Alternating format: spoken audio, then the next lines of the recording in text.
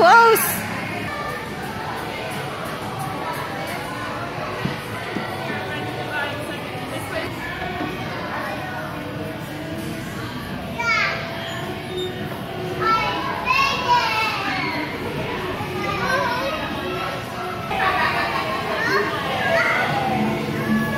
Try a different one.